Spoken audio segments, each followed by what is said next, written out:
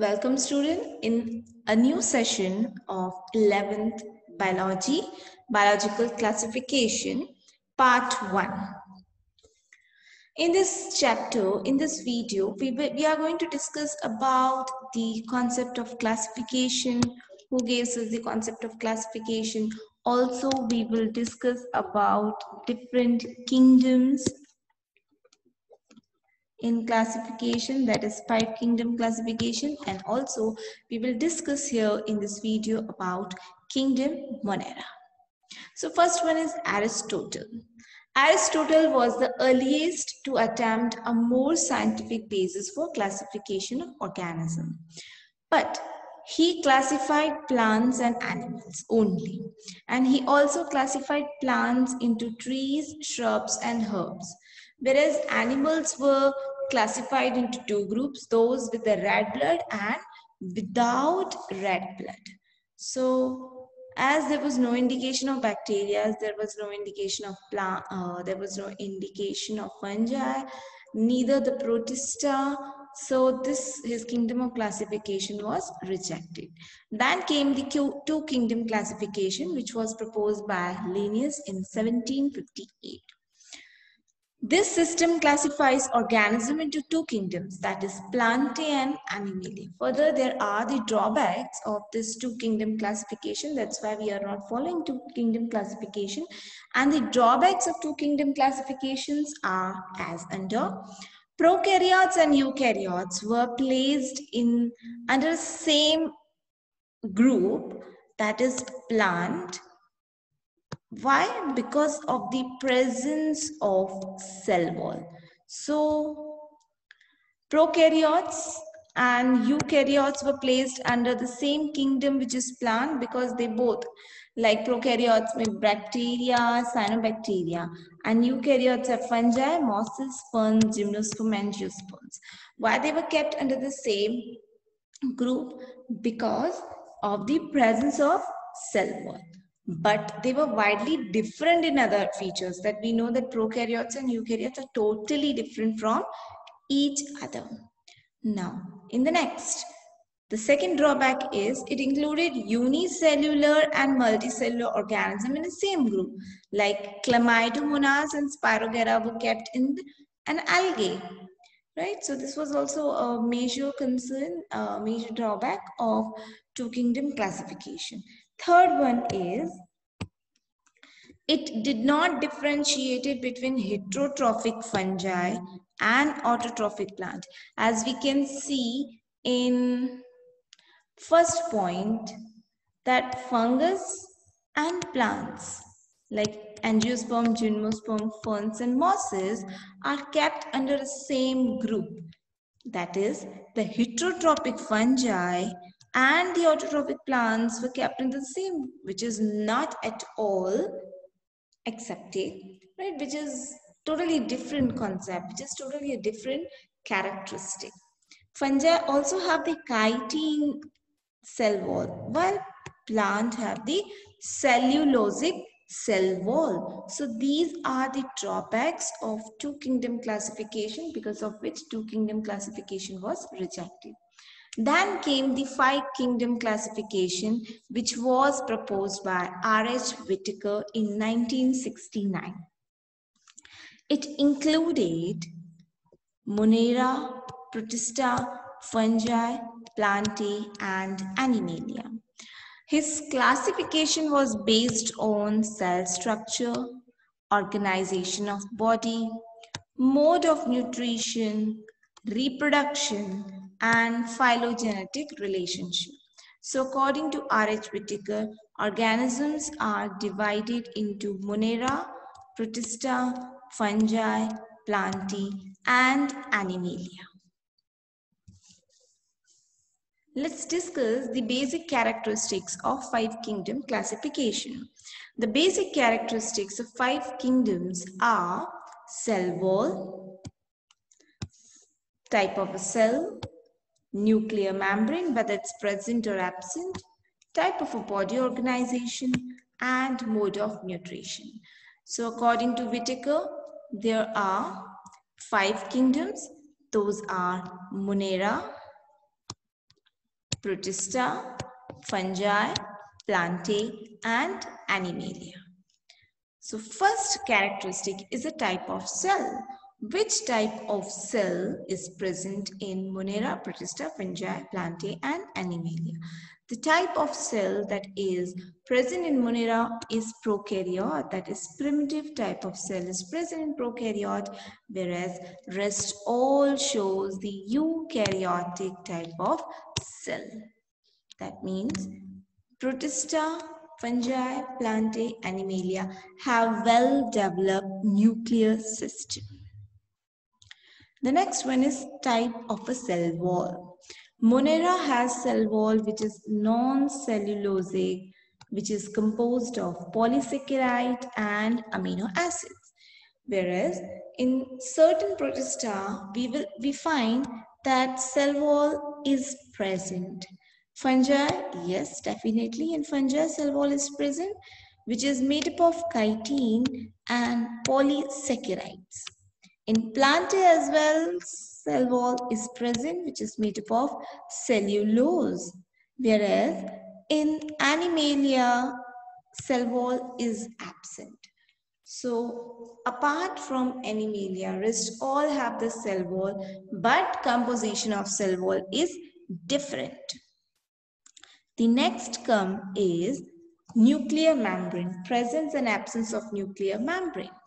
As in prokaryote, so nuclear membrane is absent in it. Rest all are eukaryotic in nature. That means that indicates presence of nuclear membrane in it. Next, moving ahead with the type of body organization. Pro Monera and Protista are unicellular. That's why they show the body organization cellular. Whereas if we move further with fungi, plantae and animalia, we can find a loose tissue type of organization in fungi because it is multicellular in nature, tissue and organ in plantae, and tissue organ organ system of organization body system that contain tissues that contain organ and organ system in animalia the last one is mode of nutrition whether it is heterotrophic or autotrophic in nature Monera, there are there is a mixotrophic type of nutrition, mode of nutrition in Monera because certain Moneras, they shows autotrophic mode of nutrition where, uh, whereas some shows heterotrophic mode of nutrition. Protista, again the same. It also shows mixotrophic mode of nutrition that is autotrophic as well as heterotrophic. Whereas fungi is heterotrophic in nature. Specifically, it is sporo saprophytic or it acts as a parasitic in nature. Plantae, as we all know, they are autotrophic in nature which perform photosynthesis. They use sunlight as a source of energy. In Monera, you will find that there are the two types of autotrophic mode of nutrition, which is one is photosynthetic, another one is chemosynthetic. Photosynthetic is one where light energy is used as a source of energy.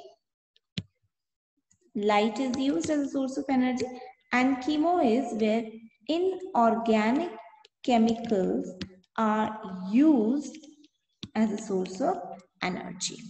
The last one is animalia. You all are aware that animalia are heterotrophic mode of, they show the heterotrophic mode of nutrition. They are holozoic, saprophytic, etc. So this was about the basic characteristics of kingdoms, different kingdoms. Now we will start with the kingdom Monera, which is bacteria. So before starting kingdom bacteria, let us write, let us learn, let us revise the basic characteristics of kingdom Monera. The basic characteristic of kingdom Monera is they are prokaryotic in nature, right? Then They shows mixotrophic mode of nutrition that is autotroph as well as uh, autotroph as well as heterotroph. They are unicellular. Which these are the basic uh, uh, characteristics of kingdom Monera. So let's begin with kingdom Monera. Bacteria are the most abundant microorganisms. Hundred of bacteria are present in a handful of soil. So this is the fact. If in a handful of soil, you will find hundreds of bacteria. They also live in extreme habitats such as hot springs, deserts, snows, and deep oceans. Many are parasite in nature. Now, on the basis of the shape, bacteria are categorized into different, into four types. The types are spherical, which is coccus, rod shape, which is bacillus, comma shape, which is vibrium and spiral shape, which is spirillum. Here a few of the uh, images of bacteria is given with example the circular rod shape then comma shape then spiral shape bacteria are there. So there are different types of bacteria on the basis of which they are categorized as four. Then comes the bacterial cell structure. Bacterial structure is very simple but they are complex in behavior and they show metabolic diversity. Some bacteria are autotrophs as we I have already discussed with you and some are majority are heterotroph right majority are heterotroph whereas some are autotrophic in nature heterotroph they do not synthesize the food but they depend on other organisms or on dead organic matter for food. The components that are present in a bacterial cell are capsule, the outermost covering, which gives them the virulent factor, cell wall, plasma membrane, cytoplasm, ribosome. Plasmid is a circular, extracellular circular DNA Pili, which is an organelle, small organelle, which help to help in attachment and locomotion, and flagella as well as nucleoid. As it uh, as the moneras are prokaryotic in nature, so organelle, membrane-bound organelles are absent in it. Now, on the basis of the type of structures, cell wall and the cell type, moneras are further divided into two groups. That groups are Archaebacteria and Eubacteria. Archaebacteria are known as primitive type of bacteria, whereas Eubacteria are known as true bacteria.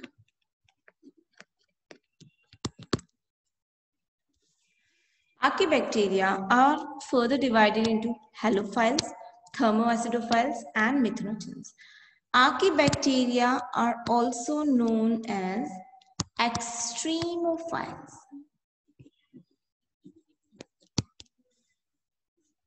Because they grow in extreme condition. They can grow under the extreme condition. That's why these are known as extremophiles. Eubacteria are true bacteria. Further, they are divided into either autotrophs or heterotrophs. Autotrophs also photoautotrophs, chemoautotrophs, and heterotrophs may parasitic or saprophytic mode of nutrition. We will learn each and every part in detail one by one. So first we'll, we are starting with archaebacteria. They live in harshest habitats such as extreme salt areas, hot springs and marshy areas. That's why I told you that these are also known as extremophiles. Archaebacteria have a different cell wall structure for their survival in extreme conditions. Methanogens are present in guts of ruminant animals like cows, buffaloes, and they produce methane, which is a biogas from the dung of these animals. So in biogas plant, people are using cow dung for the production of methane. Why? Because methanogens, bacteria are present in the ruminant of these, uh, in the gut of these ruminant animals. Next is eubacteria. They are true bacteria having a rigid cell wall and flagellum if motile. They include autotrophs that are photosynthetic and chemosynthetic and heterotrophs. First, photosynthetic autotrophs, examples are cyanobacteria. They have chlorophyll A similar to that of green plants. Cyanobacteria are also known as blue-green algae because when it is observed under the microscope, it gives a structure, it gives a color complexion which is bluish green in color. They are usually unicellular, colonial or filamentous, marine or terrestrial algae. The colonies are generally surrounded by gelatinous sheet. That's why they are slimy in nature. They often form blooms in polluted water bodies where the inorganic substances are rich. Some of them fixes atmospheric nitrogen in specialized cells called heterocyst. Here you can find a heterocyst cell which it, this is going to develop. This is developed cell uh, where the nitrogen fixation takes place. Examples are nostoc and Anabaena. The second type of eubacteria is chemosynthetic eubacteria. Chemosynthetic autotroph. They use inorganic chemicals for the synthesis of food as a source of energy. They oxidize inorganic substances such as nitrate, nitrites, ammonia and use the released energy for ATP production. They help in recycling nutrients like nitrogen, phosphorus, iron, and sulfur. The example for chemosynthetic autotrophs are green sulfur bacteria and purple reducing bacteria. You can write sulfur reducing bacteria, nitrogen reducing bacteria are the examples of chemosynthetic autotrophs. Now, the next comes the heterotrophic bacteria.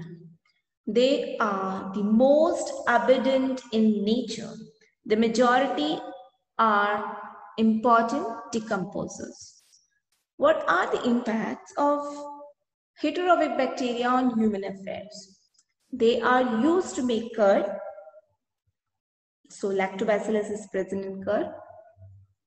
Then they're also used in the production of antibiotics. They are also used as a nitrogen fixing in leguminous plant. Example is rhizobium. Some are pathogens causing diseases like Vibrio cholerae for cholera, Salmonella typhi for ty typhoid, and there are certain diseases like tetanus and citrus canker. Citrus canker is a plant disease. Uh, rest all are the animal disease, specifically human disease that are caused because of bacteria.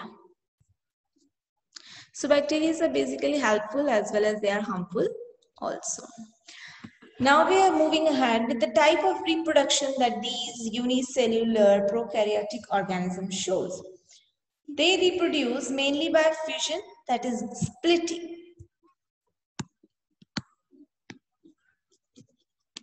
Splitting of cell. Under unfavorable conditions, they form these spores.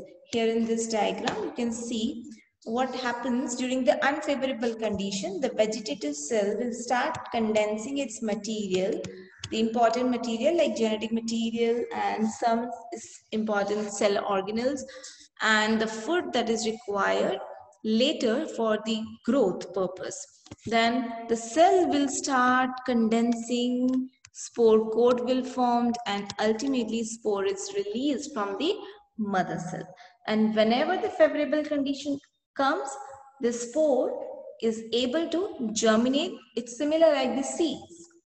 They are also reproduced by a sort of sexual reproduction like DNA transfer from one bacteria to other and this is known as conjugation. So they show the sort of sexual reproduction, asexual reproduction, that is fission and sporulation. The last topic of Monera is mycoplasmas. Mycoplasmas are the smallest living cell known. They lack the cell wall. Cell wall is absent. So instead of a cell wall, they have a layer which is made up of lipids and protein, which protect the internal material of the cell. They also have DNA, ribosome, RNA, and certain metabolites. They are the smallest living cells known they can survive even without oxygen. So they are able to perform anaerobic respiration. Many of them are pathogenic in animals and plants. So this was it about the kingdom Monera and the basis of classification. In our next videos, we will discuss about Protista, fungi, types of viruses, and a brief about plant and animal kingdom. Thanks for watching.